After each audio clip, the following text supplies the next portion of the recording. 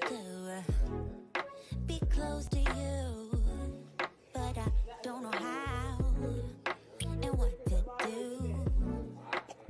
I'm so shy uh, when it comes to you, but I guess you're curious, huh? So let me show you.